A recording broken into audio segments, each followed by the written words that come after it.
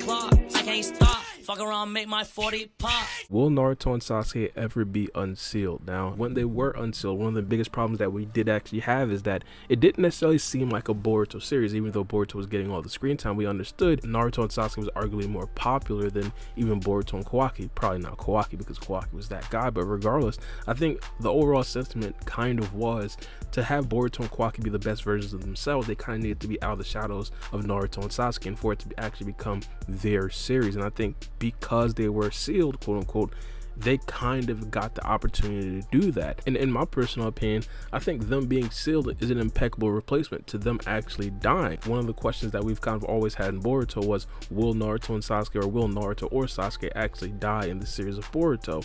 And at this particular time, the sealing essentially functions as them kind of dying, but it's even better than them dying in some weird way. As I said, them actually dying and not necessarily being in the series, it props up Boruto and Kawaki. But on top of that, one of the things that we do understand about Naruto and Sasuke is that they are a numbers magnet. Every time they're in the series, they draw and attract numbers, and even passages fly out numbers. Them essentially being alive and well in the series of Boruto is a very good asset for the writers, especially when it comes to actually attracting some of the old school Naruto fans to the newer Boruto content. For example, there was a long time or a long break in which Naruto diehard fans never really actually watched the Boruto anime until Naruto and Sasuke fought against Jigen. So by them not totally killing off Naruto and Sasuke, it still makes them relevant plot wise, but also doesn't necessarily have them get in the way of Boruto and Kawaki's growth as main characters in their own series. Now, do I believe that they will be unsealed? I think yes. I think it's probably going to be inevitable at this particular point. I think I'm probably one of the only people that always stood 10 toes down on this, and I'm probably one of the only people that still probably stand 10 toes down on this because Sasuke is in a very peculiar situation.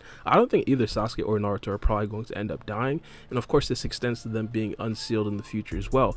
Now, at what particular point do I think they'll end up being unsealed? I have absolutely no idea. I think they're probably going to be unsealed endgame for sure. Another thing that I, I do anticipate them getting is a potential new form. If they are going to be unsealed at any time, and if the Boruto writers do want them to make any sort of impact, I'm pretty sure at that particular time, all the characters or all the actual villains of substance are going to be extremely strong and they'll probably actually need a power up as well and their power up is going to be in the form of a brand new transformation. And of course when it comes to brand new transformations and characters like Naruto and Sasuke much similar to characters like Goku and Vegeta those things are money magnets. And I personally believe it would pretty much be malpractice for them to not actually do something like this during the end game. So if, if I were to actually give a prediction I think they would be unsealed and they'll probably get a power up towards the end of the series. But when it comes to specifically when they'll actually be unsealed, I actually do believe that Sasuke can be unsealed earlier than Naruto being unsealed. Sasuke's sealing is a tad bit different from Naruto. First things first, his sealing is kind of tied to this arc, which is like the Shinju and the Shinju clones.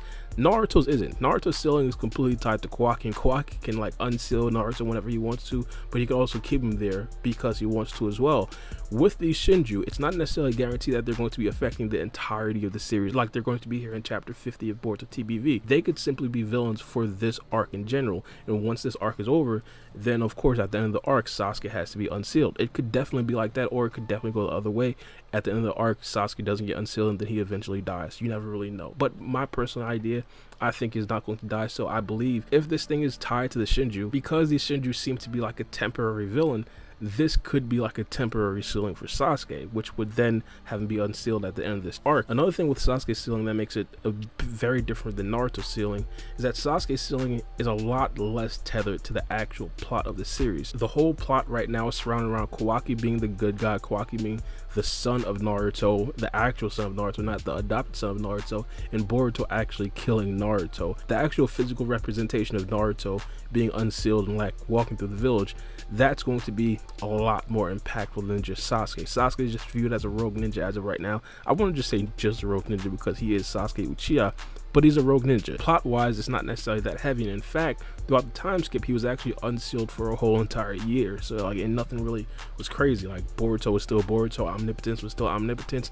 and Kawaki was still Kawaki. So I think Sasuke would have a lot less damage. So I think because of that, that could definitely get him unsealed a lot quicker. Not only that, Sasuke could definitely be helpful to Boruto in the future. One of the things that we do understand is that Sasuke trained Boruto and taught him a lot of what Boruto actually knows as of right now. Taught him the Uchiha style, whatever that actually is. But also when it comes to other stuff, when it comes to him actually going from dimension to dimension, we know that Sasuke has done that plenty of times. And not only that, when it comes to Boruto honing his abilities, Sasuke is absolutely elite when it comes to ninjutsu and could potentially also train Boruto to get better at some of the jutsus that he already taught Boruto. One of the things that Sasuke made clear was that even though Boruto knew all of the stuff that Sasuke can actually teach him, he still needs to hone his abilities, and Sasuke definitely help him to do that. So I think Sasuke being unsealed, one, wouldn't necessarily damage the plot that much, and also he could definitely be helpful to Boruto as well.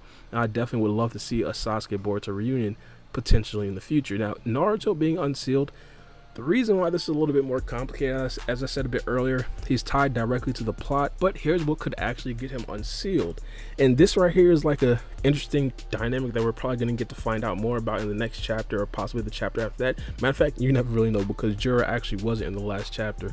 But Jura himself, his actual target is going to be Naruto. Now, if you guys do recall, the original reason as to why Naruto is in this dimension in the first place or why Naruto is sealed in the first place is because Kawaki wants to keep him safe. If Kawaki understands that Naruto is not safe in that dimension, it wouldn't necessarily make sense to keep Naruto sealed. The only reason why he would kind of keep Naruto seals because he wants to like complete his mission of actually eradicating the Otsutsuki clan. He understands that Naruto wouldn't necessarily allow him, and not only that, he also get one of the craziest ass whoopings if Naruto was actually unsealed generational. But regardless, I personally do believe Naruto being unsealed by Kawaki because of Jiraiya's influence, because of Jiraiya's actual threat to, to Naruto is going to be something that we should be monitoring. And not only that, when it comes to Jiraiya's abilities, because we don't fully know who he's like an actual clone of or who he's like a Shinju of, we don't really know if he actually does have access to that dimension or not. A lot of people are kind of speculating that maybe he's like a Shinju of Kawaki, maybe he's a Shinju of Jigen, maybe he's a Shinju of Ishiki Otsutsuki himself.